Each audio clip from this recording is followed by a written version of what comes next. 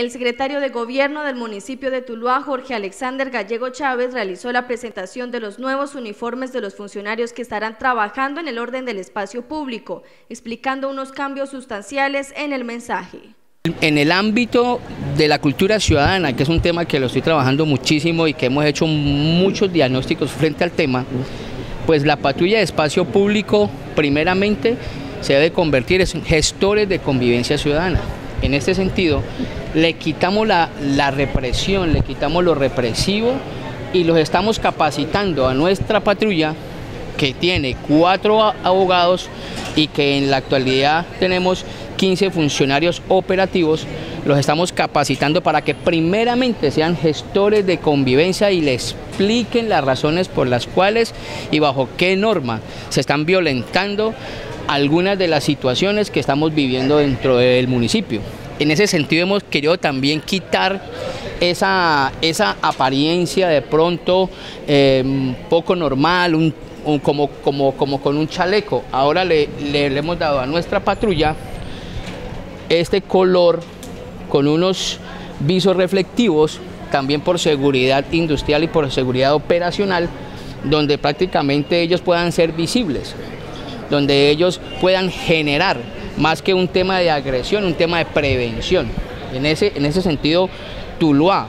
va a empezar a visibilizar a la patrulla de espacio público con los asesores jurídicos de esta manera, con este entorno.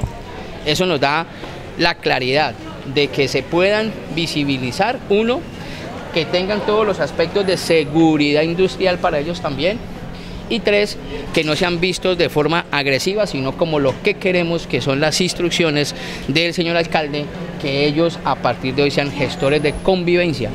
El secretario de Gobierno enfatizó que en Tuluá hay que trabajar el tema de cultura ciudadana, pues según su criterio es un ámbito bastante deteriorado en el municipio. Porque hoy, desafortunadamente digo, para el tulueño rojo es siga, para el tulueño el río es el depósito de las basuras, de los heces, los parques están llenos, llenos de heces de los animalitos, luego cultura ciudadana poca, con los gestores de convivencia, con ellos capacitados, con las barras capacitadas, seguramente lo vamos a hacer con los mototaxistas, lo vamos a hacer con los taxistas, lo vamos a hacer con la Cámara de Comercio, porque ellos tienen una política de cultura ciudadana que hay que reactivar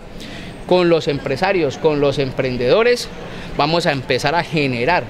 el cambio, el cambio de pensamiento frente a lo que es Tuluá. A Tuluá se respeta, a Tuluá se ama. Yo vivo aquí, yo quiero mi ciudad. Luego necesitamos que los gestores de convivencia no sean unos pocos, sino que seamos los más de 223 mil habitantes que tiene nuestro municipio. El funcionario también se manifestó acerca de las peticiones que ha hecho la comunidad tulueña de intervenir ciertas áreas del municipio en las que se está viendo afectado el espacio público.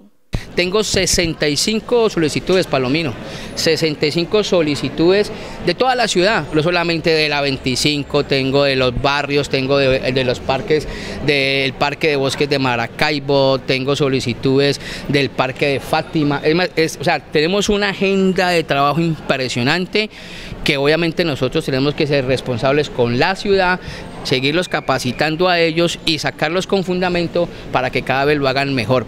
Lo vuelvo y lo, y lo, y, lo repito, el espacio público en Tuluá no tiene marcha atrás. El espacio público lo vamos a trabajar con protocolos y procedimientos de carácter preventivo y educativo. Por eso el gestor de convivencia frente al espacio público también, porque a veces nos falta capacitarnos nosotros mismos y darles a entender al ciudadano tulueño que lo que está haciendo no lo está haciendo bien.